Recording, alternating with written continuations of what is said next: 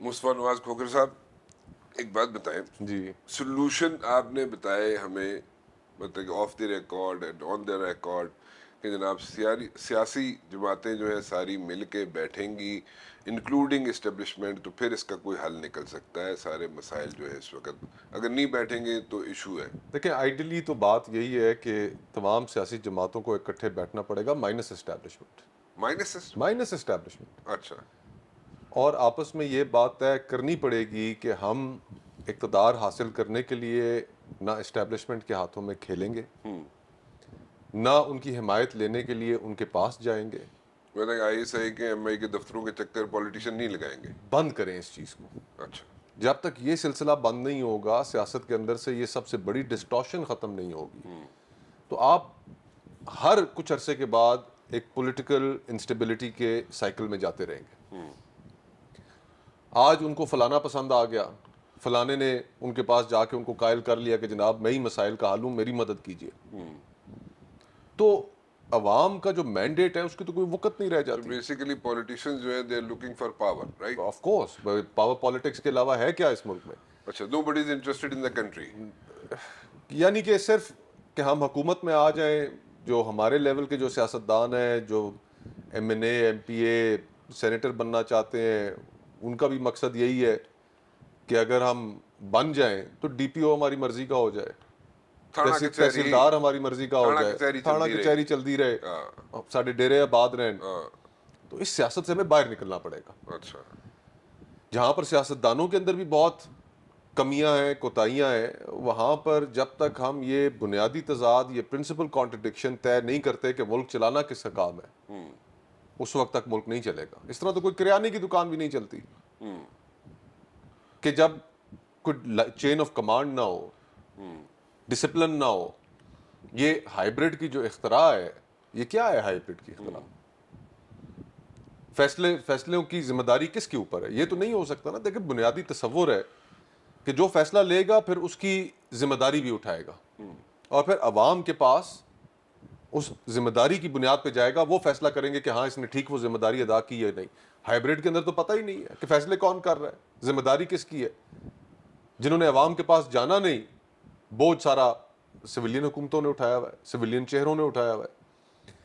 और मुल्क के अंदर से हमें जो पॉलिटिकल विक्टिमाइजेशन का कल्चर दोबारा नब्बे की दिहाई के बाद उभर कर सामने आया है, सियासतदानों को एहसास करना पड़ेगा कि इसी विक्टिमाइजेशन के कल्चर की वजह से हमने सियासत को ख़राब किया सियासत का चेहरा मस्त किया इसको बंद करना पड़ेगा। जो लोग कॉरिडोर्स ऑफ़ पावर में रहे हैं या हैं फैसले तो वो करते हैं ना। ऐसे ही है ना। मतलब आवाम तो नहीं करती फैसले ठीक है? आवाम को तो चलो एक एक पाँच साल बाद दो साल बाद एक चांस मिलता है कि जी डब्बे वोट पा दियो। अदर देन दैट उनके पास तो कोई इख्तियार नहीं होता ना ऐसा अगर देखा और कितना बड़ा इख्तियार है। नहीं देखे लेकिन हम इस मुल्क में क्यों महरूम करना चाहते हैं? एक खोखे वाले को एक छाबड़ी वाले को रिक्शा चलाने वाले को। उस तो बात कि तो उस तो बाद हैंडीकैप फैसला करोगे कि कौन हुक्मरान होना चाहिए कौन नहीं। ठीक है। और हम कहते हैं कि नहीं तुम्हारे फैसले की कोई वक़्त नहीं। ठीक है चले। लेकिन उसके पाँच बाद साल बाद वो इंतज़ार करता है। इंतज़ार करता रहता है। कि मुझे फैसले पर्ची जो है देने का मौका तो आए। हाँ, मैं इन लोगों से जिन्होंने मेरे से जो वादे किए वो पूरे नहीं किए मैं इनको सबक तो सिखाऊं। आप कहते नहीं असि तो गल ही नहीं माननी अच्छा चलो लेकिन जो लोग बैठे होते हैं कॉरिडोर्स ऑफ़ पावर में हुकूमत के अंदर जो लोग रहे हैं या रहते हैं या हैं फैसले तो वो करते हैं ना बड़े बड़े जिसके इफेक्ट्स होते हैं आवाम पे। हूँ सौ रुपए का यूनिट हो बिजली का डेढ़ सौ रुपए का फिर इस तरह प्रॉब्लम हो गैस के बिलों की प्रॉब्लम ਹੋਏ वो तो आवाम जो है वो तो सिर्फ़ हीट फेस कर रहे होते ना। वो तो जितनी उसकी प्रॉब्लम्स हैं जो फैसले की इस मुल्क की अशराफिया की नाएहलियों की। गलत फैसले जो किए हाँ। हुक्मरानों ने उसके हीट फेस कर रहे होते हैं हाँ। ना अवाम हाँ। अब वो सारा सिलसिला जो है वो सारे जो इश्यूज़ हैं अब वो किसको जिम्मेदार ठहराए? उन्हीं लोगों को ठहराएँगे ना अवाम जो लोग बैठे रहे हैं हुकूमतों में। ऐसा ही है ना? उसका कोई हल है? नहीं हल तो निज़ाम ने प्रोवाइड किया है ना आइन ने किया है। कि जो शख्स जिम्मेदार है उसको फिर सजा भी मिलनी चाहिए अवाम के वोट के ज़रिए। फिर उथे ही आ जाती नहीं तो आप क्या प्रपोज कर रहे हैं कि मैं तो कोई डेमोक्रेसी के propose- अलावा कोई सिस्टम हो डेमोक्रेसी के अलावा मैं कोई प्रपोज हाँ, नहीं कर फिर? रहा मैं तो कर ही नहीं रहा कोई प्रपोज यार मैं तो ਤੁਹਾਨੂੰ ਪੁੱਛ ਰਿਹਾ ਸਾਨੂੰ ਦੱਸੋ ਕਿ ਅਸੀਂ ਜਾਣਾ ਕਿੱਧਰ ਹੈ मैं तो वही तो कह रहा हूँ कि इस मुल्क में सत्तर सालों में मुल्क बनता गया तो उसके बाद मुल्क बनाने वाले जो थे उन्हें गद्दार डिक्लेयर कर दिया गया ऐसा हुआ कि नहीं हुआ ठीक है बानिया पाकिस्तान की बहन से लेकर उनको गैर मुल्की एजेंट करार दिया गया। हुसैन शहीद सोरवर्दी साहब हो और दीगर तरीके पाकिस्तान के कारकुनान हो एबडो कर दिए हज़ारों सियासतदान एबडो कर दिए। भुटो साहब के साथ क्या हुआ? शहीद बीबी के साथ सारी ज़िंदगी क्या होता रहा? आज जिस नहज में सियासत पहुँची है तो मसला तो एक ही है कि हम आवाम की मंशा के मुताबिक हाँ। इस मुल्क को नहीं चलने दे रहे। को पार्टी ज्वाइन कर रहे हो? फिलहाल तो कोई इरादा नहीं है ਤੇ ਮਤਲਬ ਕੀ ਕਰੋਗੇ ਫਿਰ ਬਸ ਹਲੇ ਗੱਡੀ ਟੁਰਦੀ ਪਈ ਹੈ ਇਸ ਤਰ੍ਹਾਂ ਤੇ ਬਸ ਤੁਰੀ ਹੋਈ ਹੈ ਇਲੈਕਸ਼ਨ ਆਣਗੇ ਵੇਖਾਂਗੇ ਪਤਾ ਨਹੀਂ क्या हालात बनते हैं इस मुल्क के जल्दीबाजी जल्दबाजी क्या है आपको you're in, in no hurry I am in no hurry I am in no hurry you're staying back observing things right माशरा इतना पोलराइज हो चुका है लोग इतनी एक्सट्रीम पोजीशंस पे जा चुके हैं कि इस वक्त कोई हल जो है कि जिस सियासत का मैं समझता हूँ कि पाकिस्तान को ज़रूरत है फॉर एग्ज़ाम्पल एक लिबरल प्रोग्रेसिव सियासत की इस मुल्क को ज़रूरत है। इस मुल्क को इशू ओरिएंटेड पॉलिटिक्स की ज़रूरत है कि जिसमें लोगों के इश्यूज़ डिस्कस हों। अभी कितनी अच्छी बात लगती है जी कि बरतानिया के अंदर इलेक्शंस हो रहे हैं और उसमें इलेक्शंस के अंदर सबसे बड़ा इशू ये था कि जो उनके हस्पताल हैं, वहाँ पर जब मरीज़ जाता है तो जो लेबर पार्टी थी वो कह रही थी कि हम उन्हें उनका जो इंतज़ार करने का पीरियड है वो कम करेंगे। ये कंजर्वेटिव्स के अंदर लोगों को तीन तीन चार चार घंटे लोगों की बारियाँ नहीं आती अस्पतालों में। हाँ। हम हेल्थ सिस्टम के अंदर ज़्यादा खर्च करेंगे लोगों को कम इंतज़ार करना पड़ेगा। तालीम के ऊपर पैसे खर्च करेंगे। हमारा ह्यूमन कैपिटल इस मुल्क में क्या है राना भाई? आपने तो जो ब्रेन है वो ड्रेन तो, हो चुका है। आई I मीन mean, आपका इन्वेस्टर जो है वो एज सच उसका हम तो- शेटर हो चुका है। वो इधर उधर निकल गया कोई वियतनाम निकल गया कोई किधर निकल गया किधर निकल गया इन्वेस्टमेंट लेके। अभी आप बताएँ ना सौ रुपया यूनिट उसके ऊपर आप क्या माल बनाएँगे? और जो माल बनेगा वो किस तरह बिकेगा? वो तो नहीं बिक सकता ना। इंडिया में बिजली सस्ती है श्रीलंका में बिजली सस्ती है बांग्लादेश में बिजली सस्ती है। आप कैसे उनके प्रोडक्ट्स का मुकाबला करेंगे? कर ही नहीं सकते। फिर जो मुल्क के अंदर स्टेबिलिटी चाहिए एक बिज़नेस एनवायरनमेंट के लिए वो तो यहाँ पे है नहीं। सही कह रहे हैं आप धमाके हैं यहाँ पर दहशतगर्दी है सियासी इंतशार है अदलिया जो किसी भी बिज़नेस एनवायरनमेंट के लिए सबसे कलीदी किरदार जिसका होता है। कि जो बंदा आपके मुल्क में पैसे लेकर आ रहा है इन्वेस्टमेंट कर रहा है उसको ये यकीन हो कि यार अगर मेरे साथ कोई ज्यादती होगी तो मेरे पास एक इदारा है कि मैं जहाँ पर जाकर उसका डोर नॉक कर सकते उसका डोर नॉक कर सकूँगा ठीक है वो उसके यहाँ पर जजों की हालत ही कोई नहीं रही। निज़ाम इंसाफ बैठ चुका है। जो जज हैं वो चीखम धाड़म कर रहे हैं कि जनाब हमें धमकियाँ मिलती हैं हमें काम नहीं करने दिया जाता।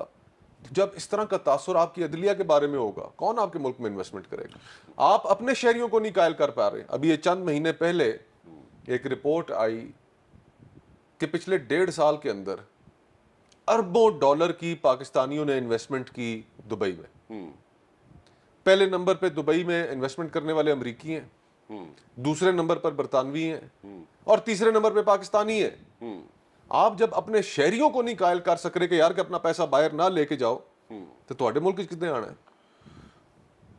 अच्छा मुझे ये बताएँ सिंपल बात हाँ, है नहीं ठीक है मौलाना फजल रहमान साहब वो कहते हैं ना कि जितना कॉम्प्लेक्स सूरत हाल होती है जितनी कॉम्प्लेक्स सूरत हाल होती है उसका हल सिंपल चीज़ों में होता है।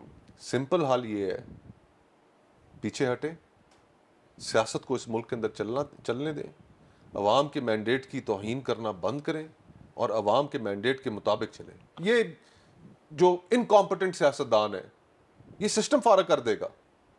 मुझे आप बताएँ पीपल्स पार्टी पाँच साल उसने हुकूमत की उस पाँच साल हुकूमत करने के बाद पंजाब से सफाया हुआ कि नहीं हुआ?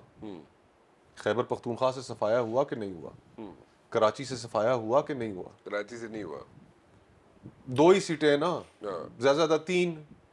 हाँ। तो मुझे ये बताएँ आपने निज़ाम को चलने दिया लोगों ने कारकर्दगी देख ली। उन्होंने कहा कि नहीं। आप लोगों के हाथों में विक्टिम कार्ड देना बंद करें। अगर वही पीपल्स पार्टी अगर 2008 से 2013 की हुकूमत में आप जरदारी साहब की और पीपल्स पार्टी की हुकूमत फारग कर देते तो पीपल्स पार्टी ने भी नहीं खत्म होना था इधर से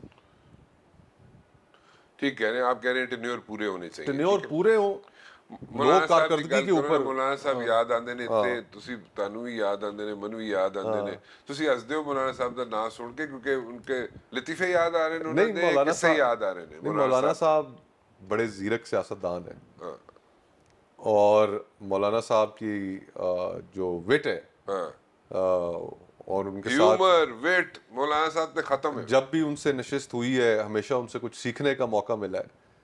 और अ, मैं गाए बगाए उनके पास जाता रहता हूँ। हमेशा सीखने का मौका मिला है। अच्छा। मौलाना साहब से क्या सीख के आते हैं आप?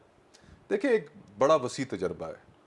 उन्नीस सौ अस्सी की दिहाई से और खसूस उनके जब वालद की वफ़ात हुई उसके बाद से जो उनका इस मुल्क की सियासत के ऊपर नज़र है बहुत कम लोगों की है।